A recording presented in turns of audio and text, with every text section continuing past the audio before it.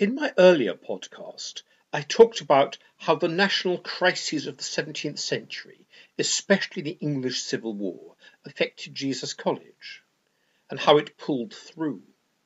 In the 18th and 19th centuries, nothing so dangerous touched Oxford or its colleges, and one has to wait until the outbreak of the First World War in 1914 to find anything comparable. It is often observed how quickly and unexpectedly Britain found itself at war. In the Encaenia of June 1914 an honorary doctorate was conferred on the great German composer Richard Strauss. German scholarship was much admired, and some Oxford scholars, including our then principal, Sir John Rhys, had even spent time studying in German universities. Yet, by early August, Britain and Germany were at war. War broke out in the middle of the long vacation, when the colleges were empty, and the university authorities were caught completely by surprise. Oxford students quickly joined up to fight, and for all the early claims that everything would be over by Christmas, it became clear that Michaelmas term 1914 would be a strange one with so many Jesus students away. In 1915, emergency regulations had to be created to permit undergraduates to break off their studies to go and fight, with their places held open for them on their return. And young men about to come up to Oxford were likewise permitted to defer entry. Arrangements also had to be made for fellows and college servants who wished to join up. This is not the place to tell the stories of those men who joined up. Here at Jesus, we know of 67 men who never returned. And there were many others who were badly wounded, including Angus Buchanan, the college's only VC, blinded in Mesopotamia. Instead, we should look inside the college itself, denuded of so many of its members, and those left behind, anxious for news of former pupils, colleagues, and friends. Just recently, in the archives, I found an important cache of letters and photographs sent variously to the principal, the bursar, or to the college steward by the families of servants killed in the war. They reveal a world of people devastated at the loss of a son, brother, or husband, but yearning to hope that all will be well in the end. In reading these letters, we should think of their effect on their recipients, who would have known these men from their college days? Even at home, there were losses for the college. The greatest was when, in December 1915, Sir John Rhys died in the principal's lodgings. Because of the current emergency, the college decided not to elect a successor, but arranged to be managed by the vice principal, Ernest Hardy. Hardy thus saw the college through to the end of the war. Surprisingly, the college decided not to elect a new principal until 1921, and Hardy was the one chosen. By all accounts, Hardy managed college affairs very well, which is all the more remarkable when one remembers that by 1915 he had been totally blind for over a decade. College group photographs from the 1920s always show, poignantly, the principal wearing his dark glasses and usually looking in any direction other than at the camera. It is a sobering question whether any Oxbridge college has elected a blind head since Ernest Hardy. Rhys and then Hardy presided over an ever shrinking college. In Hilary term 1914, there had been 135 members resident in the college, but by Hilary term 1915, there were just 63 and by 1918 there were only 15 undergraduates left. By now, more or less the only students in college were those from neutral countries, as the USA was until 1917, or those exempted from active service on medical grounds. Unsurprisingly, student societies all faded away. There were no sporting fixtures and no concerts, and the minute book of the Junior Common Room records no meetings held between November 1915 and January 1919. The college was not completely empty, however. As happened in most other colleges, its rooms were taken over for military training purposes.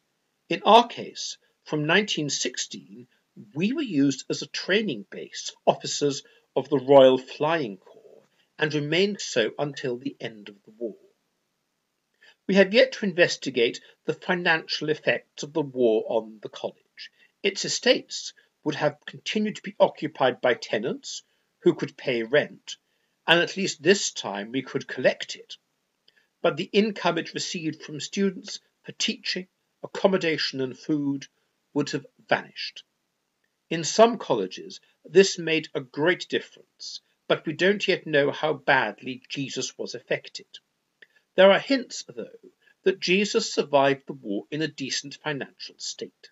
After the war, a great many other colleges, such as Balliol or Univ, sold off a great deal of their land to put into stocks and shares to produce a better yield. But Jesus seems to have been content to keep its assets in land. Certainly, the college swiftly recovered in terms of personnel. During 1919, it quickly filled up with undergraduates. A few, like Angus Buchanan, had been up in the summer of 1914, but most were people who'd been offered places during the war but been unable to take them up until now. But the memorials to the college's dead in the chapel and the old JCR, now the memorial room, will have reminded people of what they had endured and who they had lost. Just as the tribulations of the First World War were nearing their end, the world was affected by the last great pandemic before COVID 19, namely the so called Spanish flu of 1918 to 19, which killed millions all over the world, including up to a quarter of a million in Britain.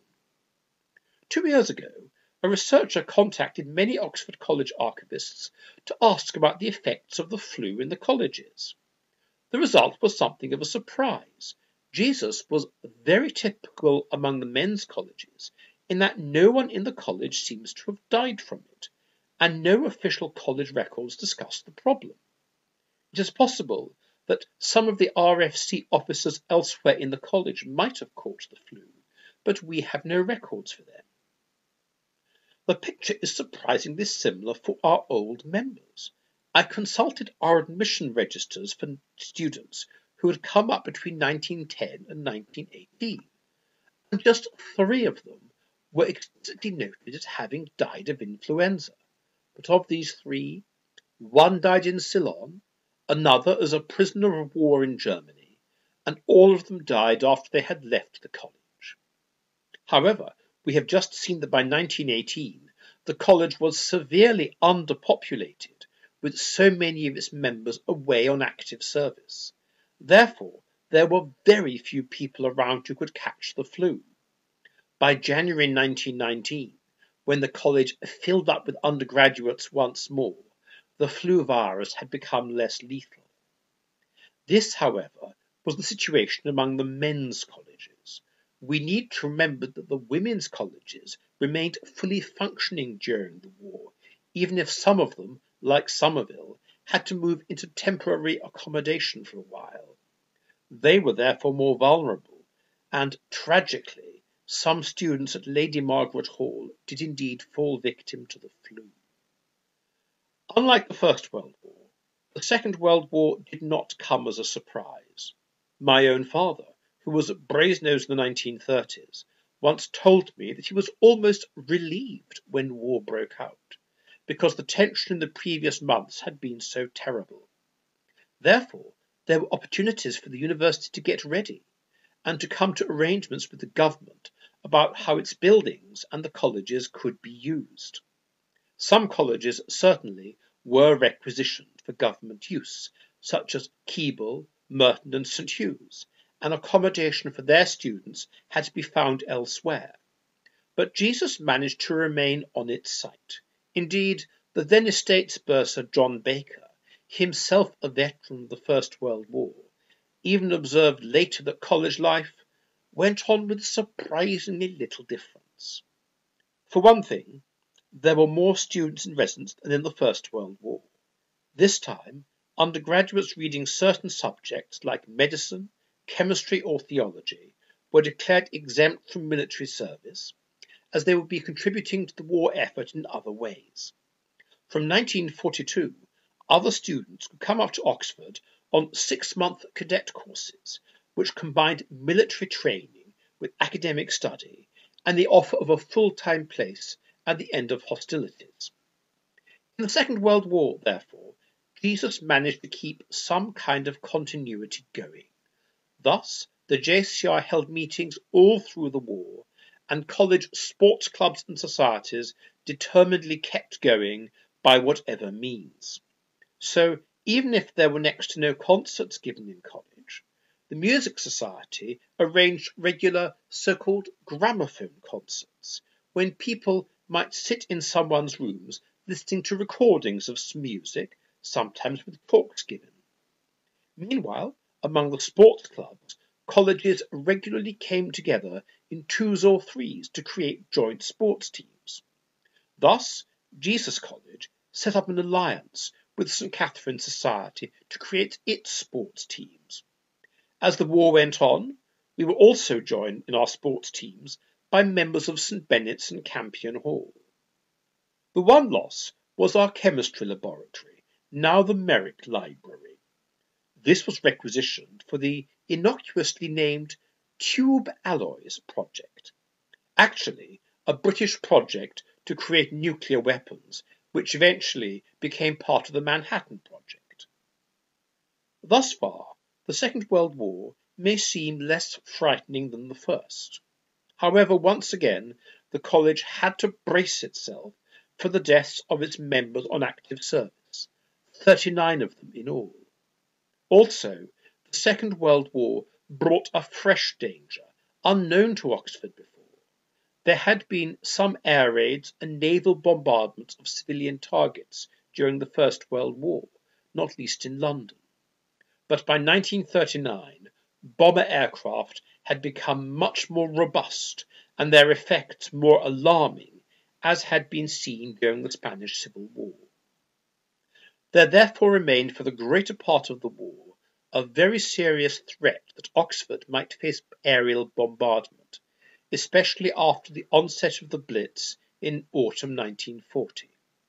At Jesus, as with all other colleges, undergraduates resident in college had to take their turn in nightly fire watching, sitting on college roofs and being ready to warn if an incendiary device fell. Oxford was fortunate. In spite of the Morris works in Cowley, the city was never bombed. But throughout this period no one was to know that fact, and these nightly vigils remind us of a perpetual tension which never quite went away. This has been, to be sure, a reflection on the darker moments of the history of Jesus College, and we have to be honest and admit that one day the COVID 19 pandemic of 2020 will inevitably be added to them. However, Dark as these episodes have been, and perhaps the college's darkest hour was the Civil War, yet Jesus College and its members always have emerged the other side, and perhaps we need that reminder now more than ever.